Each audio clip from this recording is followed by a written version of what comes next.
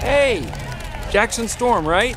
Great race today. Wow, thank you, Mr. McQueen. You have no idea what a pleasure it is for me to finally beat you. Oh, thanks.